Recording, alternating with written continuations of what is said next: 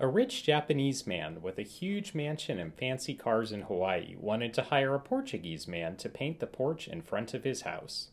He asked, So, how much will you charge to paint my porch? The Portuguese man said, I'll do it for $50.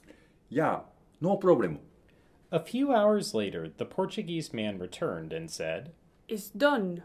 Oh, by the way, it wasn't a Porsche, it was a Ferrari.